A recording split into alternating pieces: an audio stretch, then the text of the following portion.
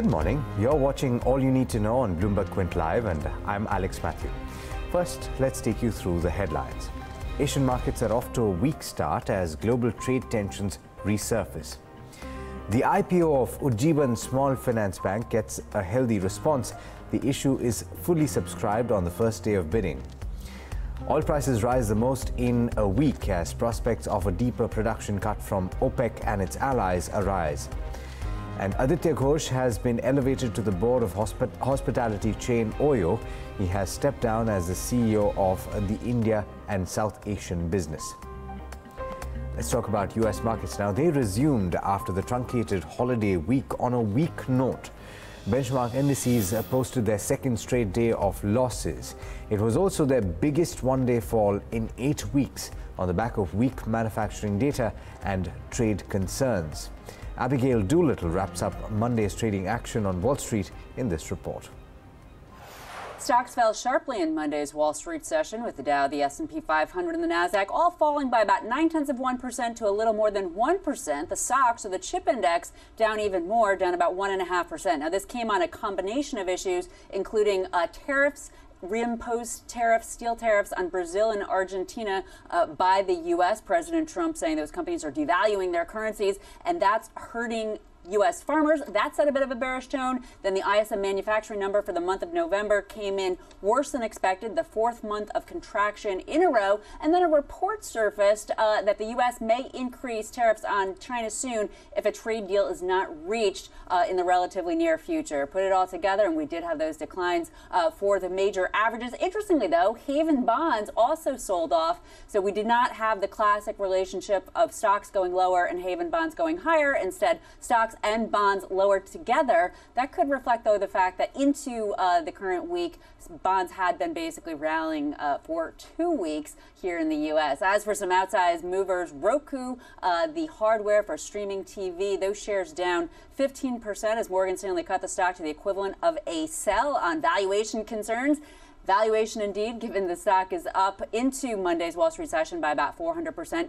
Deere was also down sharply, not as sharply, down uh, a little than 1.5%, cut at Bank of America Merrill Lynch, uh, also to the equivalent of a sell. The analysts there concerned by uh, agriculture, that there could be some weakness in 2020. This, of course, after Deere cut its 2020 outlook last week. And then finally, oil and natural gas popping a bit higher. Oil up more than 1% or around 1% uh, after or on speculation that OPEC may, in fact, uh, make bigger output cuts than expected, while natural gas popping higher, perhaps after the worst November since 2001. But there's also snow here in New York. That could be a factor too.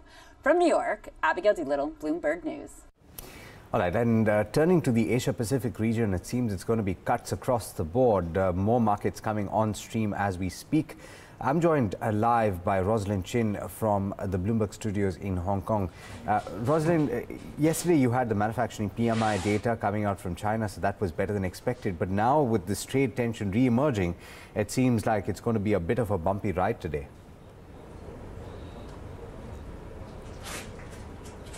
You're exactly right. Uh, this trade tension re-emerging globally, not just with the US and China now, and also, of course, uh, disappointing ISM data coming out of the US as well, which uh, didn't help matters either. So right now we've got uh, most of the major boards in the Asia region trading lower. The MSCI Asia Pacific down by 0.8%.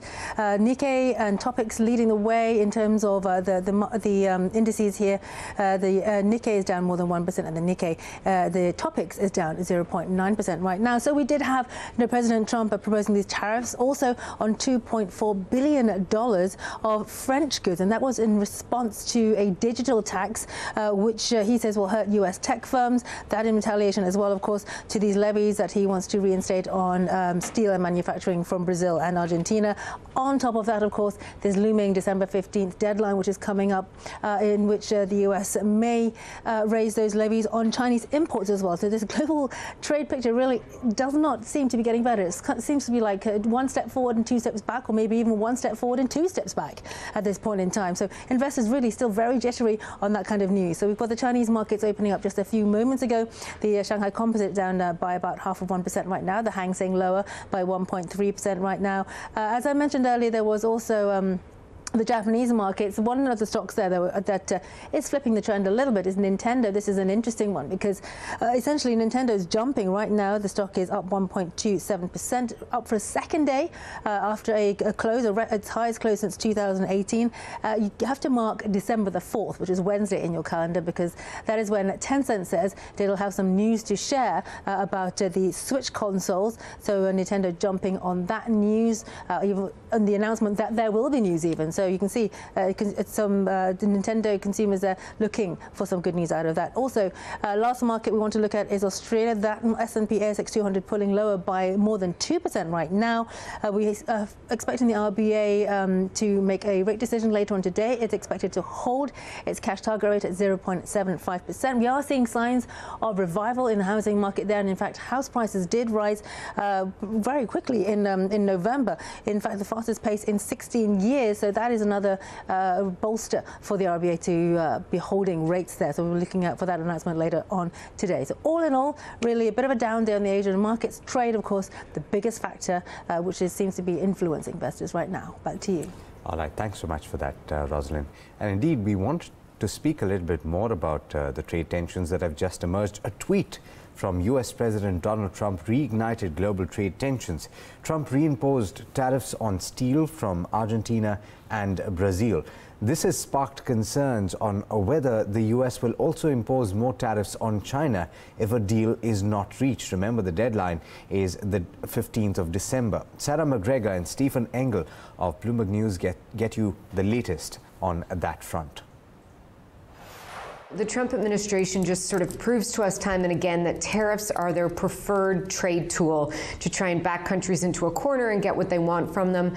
You know, we saw the Argentinian and Brazilian tariffs today. Of course, uh, Secretary Wilbur Ross reminding us that those December 15th tariffs are coming up in the China deal. And then we just had an announcement on the French digital tax that the Trump administration is proposing uh, tariffs on $2.4 billion worth of French goods in, in retaliation for that French digital digital tax.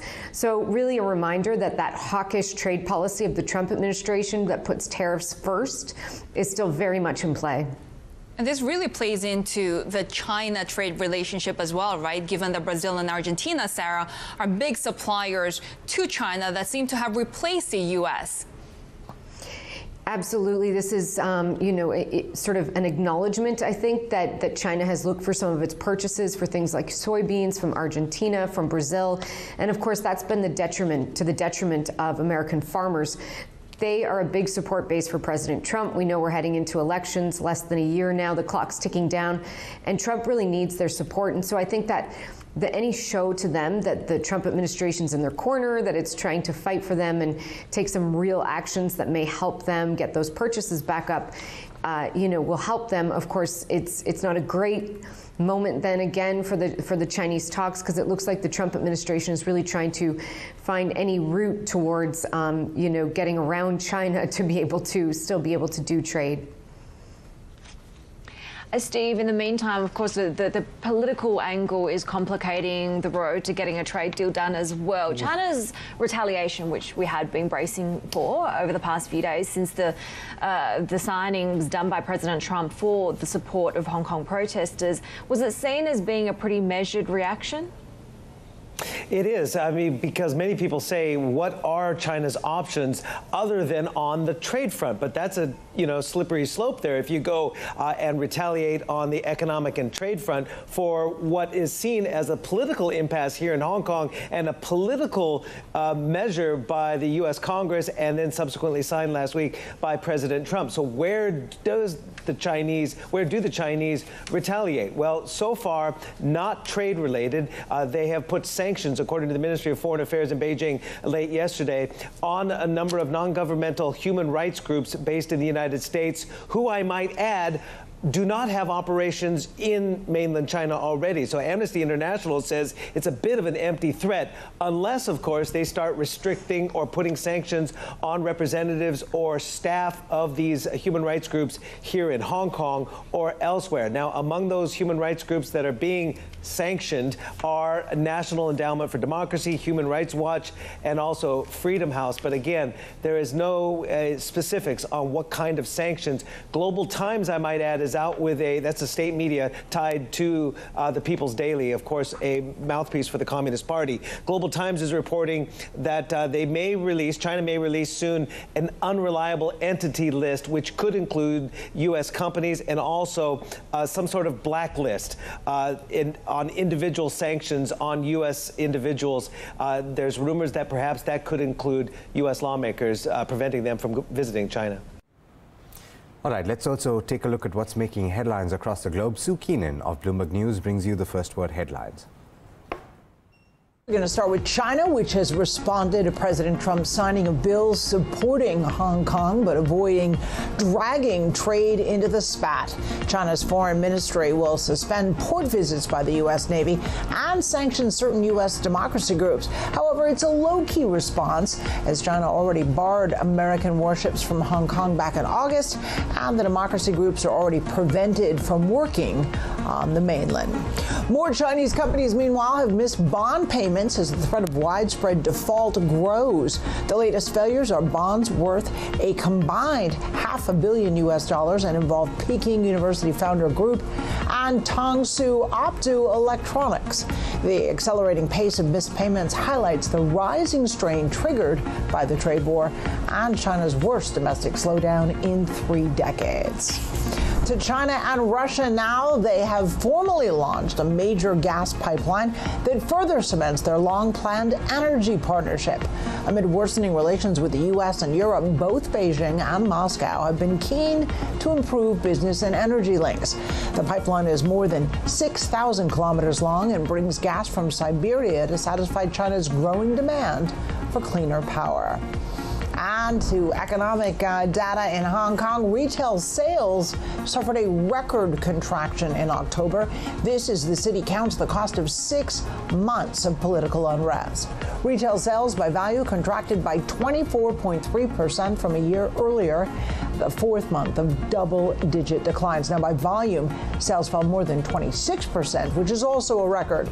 Financial Secretary Paul Chan says he expects Hong Kong's first budget deficit since the early 2000s. And in the Philippines, thousands of people have moved to shelters on the largest island there as a powerful storm bears down on Manila. Typhoon Kammuri is expected to cross the coastline Tuesday morning, bringing sustained winds of 155 kilometers and gusts approaching 200. The storm has forced the cancellation of dozens of flights and may disrupt an athletics meeting involving competitors from across Southeast Asia. Global News 24 hours a day on air and at TicToc on Twitter, powered by more than 2,700 journalists and analysts in more than 120 countries. I'm Sue Keenan. This is Bloomberg. All right, let's uh, also take a look at how the Indian markets are likely to open today. Agam Vakil is joining me to tell you all about the trade setup for the day and also what's happening in the futures and options space. Agam, your guess is as good as mine. Uh, well, I, I think actually your guess is better than mine. But uh, having said that, having said that, you know, we're looking at weakness across the board. Uh, in Asia and after the US markets came on yeah. stream again. Uh, is that likely to bear on uh, Indian markets? Well, it certainly looks like the opening could be weaker, Alex, considering the SGX Nifty is indicating that. And we must remember that yesterday the Nifty was really struggling to move above 12,100 and we saw a lot of writing on the higher level calls as well. But I'll come to the options part in just a bit. Let's start by addressing what's happening with the SGX Nifty and well 23 points down for now, a likelihood of a weak start. Uh, in terms of how things panned out yesterday, what we saw for the Nifty was, well, flat, uh, flat close, but there was a lot of weakness underneath. So the broader markets did see declines come through. The banking indices, again, uh, did see some amount of weakness, the public sector banks specifically in this case. But let's move on and talk about uh, your ADRs. At this point, we don't have too much to speak for. Uh, the moves on the ADRs were a lot more pronounced as compared to today. And uh, let's talk also talk about the, the contributors, uh, pardon me, the, the fund flows. So from yesterday's buying, it's turned into selling of sorts uh, from FIIs. And this time it's an outgo of around 1,700 crores on a net basis. DI is buying to the tune of around 754 odd crores. So Uh, well, it's it's been a volatile time. We don't really have a trend as far as fund flows are concerned, specifically from institutions at this point in time. Coming down to contributors, it was Reliance Industries and Bharti Airtel. Of course, it was the telecom stocks which were, were which were expected to lead the gains, but was cancelled out largely by some heavyweights like HDFC Bank, uh, TCS, and of course, Bajaj Finance was under a bit of pressure.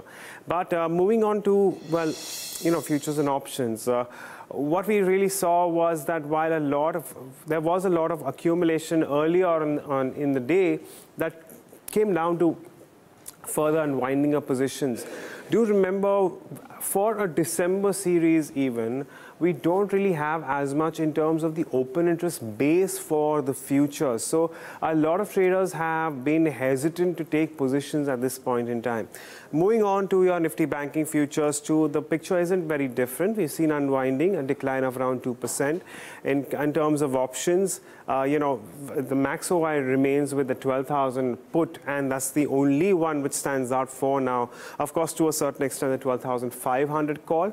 But in terms of change in open interest, and this may give you a better idea about what's happening is that we saw more writing around the 11,900 and 12,000 puts, which means that's a little bit of a resistance at this point in time, or pardon me, support and resistance around the 12,100 uh, mark. Now, uh, the VIX rose by as much as 2%, but it was not substantial. Sure, it went above 14, and the Nifty put call ratio also on expected lines came off to a certain extent to around 1.44. In terms of stocks, uh, well, Biocon, of course, will be in focus. A lot of news flow coming through, and we did see advances there. Equitas Holding and RBL Bank, of course, will also be in focus on account of its fundraising. And in terms of other stocks that we are keeping an eye on is Dish TV, Bharti Airtel, and Canara Bank see unwinding. But besides that, uh, we're also watching out for uh, Bajaj Finance. But on the whole, we're not expecting too much from the in benchmark indices. Thanks so much for that, Agam. All right, Soumya Sarkar is joining me now to tell you uh, a little bit more about the stocks that you have to watch out for in trade today. Good morning, Soumya. What's on your list today? Uh, good morning, Alex. I'll start off with Biocon. Now, Biocon and partner Mylan has launched the trastuzumab biosimilar in the US market. Now, this is the second launch in the US market uh, for Biocon after Neulasta. Now, Morgan Stanley says that the addressable market for this product is around 2.2 billion US dollars, and Biocon and Mylan could generate nearly 180 to 220 million US dollars in sales at a high margin in the first uh, in the first and the second years. Now for HSBC, they have upgraded Biocon's target price to 325 from 280 on the back of this launch. United Spirits will also remain focused because the board has approved the merger of companies listed arm that is Pioneer Distillery, Distilleries with itself. Now United Spirits will issue nearly 10 equity shares of the company for every 47 equity shares of Pioneer Distilleries. Uh, RBL, RBL Bank will also remain in focus because they have opened their QIP. Now the board will meet on or after December 5th to consider the issue price and the floor price is set at 352 0.57 uh, rupees per share, which is at, a discount of nearly 5.6% to yesterday's closing price. CG Consumer Electricals, because the private equity firm Advent International and Singapore State Investment Company, that is Temasek, are offering nearly to, are offering to sell nearly 4.5 crore shares of the company at close to 40 rupees per share. The deal is valued at close to 1,000, uh, 1100 crore rupees, and investors also have an option to sell additional 1 crore shares. Tata Motors, because they have won an order to supply nearly 200, 2,300 buses to five st uh, state transport companies. As the company said that it is working to complete the order by Feb 2020. IFCI, because uh, the company says it has received bids for sale of its entire stake in NSE and lastly ONGC and Oil India because uh, uh, because this uh, India's oil minister in the parliament has said that ONGC plans to invest nearly 1.6 lakh crore rupees while Oil India plans to invest nearly uh, 1800 crore rupees in domestic exploration and production over the next 5 years. All right, thanks so much for that, Sumit. Now, Aditya Ghosh has stepped down as the CEO for Oyo's India and South Asia business, and instead he will now be part of the company's board. Nishant Sharma spoke to both Ghosh and Oyo founder Ritesh Agarwal and began by asking them about Ghosh's new role on the board. Oyo is growing at a much faster pace than we had ever imagined. Mm -hmm um, it's created a reach around the world which is much bigger than what it was about a year and a half back, which is actually evidence of the fact that what we're really trying to do, which is basically build quality living spaces at an affordable price, there is a secular need for that around the world. And as the expectations from our consumers, from the external stakeholders, from our own employees become bigger, uh, you know, it's important for companies to evolve themselves and strengthen their capabilities globally. Hmm. Um, now, I come with certain kind of experiences, having come from a very highly regulated business, mm-hmm. uh, run a large publicly traded business, which is also was very profitable. And in the last one year, I've had a really like a, I guess, a dream run of running a very large region for Oyo, which is the South Asia mm-hmm. region. And then Ritesh and I started talking, and you know, we felt okay. You know, if we put the company first, what is that role that I should play, mm-hmm. and where I, where can I kind of contribute, where we are able to build global capabilities, which is where then the you know uh, very kindly the board has invited me to come onto the to mm-hmm. the to the board of directors. I'm really excited about it, um, and what I'm going to be probably doing mostly is work very closely with Ritesh and the other directors such as Betsy and Manish, Bijal, mm-hmm. Mohit to see um, that what is it that is required to make Oyo not just the largest and the fastest growing, but also one of the most loved and well-respected hospitality brands around the world. You know, if, if you had a dream, like, you know, would this be seen as a blue chip company? Right. Uh, and in that, then, you know, like most things at Oyo, we create a create a priority list for us, and we came up with five priorities, saying safety and security is going to be very key, you know, as a consumer core preference. Um, what are the consumer needs that we're going to deliver on? Um, how do we manage the stakeholder communications around? How do we bring uh, even higher level of corporate governance, which is a journey that we've been on. And finally, even tactical things like revenue management. Mm-hmm. Um, and so those are the five things that I'm going to be working on with, yeah. with Ritesh. Look, I think uh, to begin with, this is something that we've been discussing for a while. And the question that we constantly ask is what is the skill set that we bring uniquely that can help OYO become what it will become in the years to come? Right as you know, increasingly the narrative around young companies is not just growth, but growing right and growing towards a path of profitability. And like Aditya said, he's one of the few colleagues in our management who comes with significant amount of experience there. So his availability on our board can enable significant support for myself as well as our management in order to make sure that our company moves in a certain direction. Besides, of course, we've been in the path of making sure that we strengthen our board. Very recently, we made an appointment of Betsy Atkins, who's been on uh, multiple uh, boards along with investing in eBay and Yahoo earlier. I think this is going to be a fantastic addition uh, with her in our uh, new board of directors. Right. And Aditya, would you be full-time focusing as part of the board, or you also in some course of time looking for more opportunities, more things to you, because you have been doing a lot of things? Yeah, uh, I try to keep myself busy, but I think this is going to take a, you know, right now I'm just focused on on this, fr frankly. You know, there's mm. a lot to do, mm. um, and also I'm probably very keen on getting getting my hands on this. Mm. Um, so yeah, you know, but immediate priority also will be, uh, you know, ensuring a smooth transition between myself and my successor Rohit, who's also you know peer and colleague of mine at at Oyo, and then working with the board. So yeah, so I'm going to be focused on that for the moment. All right, let's uh, take you through some of the stories you'll find on the website bloombergquint.com if you go online right now. Uh, it goes without saying that all the stocks that we've covered so far, they go into stories called All You Need to Know and Stocks to Watch uh, on the website as well. But the first story, markets regulator SEBI's action against Karvy stockbroking has resulted in nearly 83,000 investors getting back their securities that were illegally transferred by the broker to its own account and were even pledged without any authorization. With the latest transfer by the National Securities Depository, that's the NSDL, nearly 90% of Karvy's investors have received their securities, while the rest will receive them after clearing their dues. In the aviation space, Indigo has told its pilots to stop pushing engines on its new Airbus uh, SE jets to the limit when the planes are climbing after India's aviation regulator said the practice may have contributed to turbines failing in the air. All the budget airlines A320 Neo aircraft now use a lower thrust setting following takeoff, according to a spokeswoman from Indigo which has suffered as many as 13 engine shutdowns during ascents this year. All right, that's all you need to know going into trade today, but do stay tuned. There's, of course, a lot to talk about over the next few hours. This is Bloomberg Quint.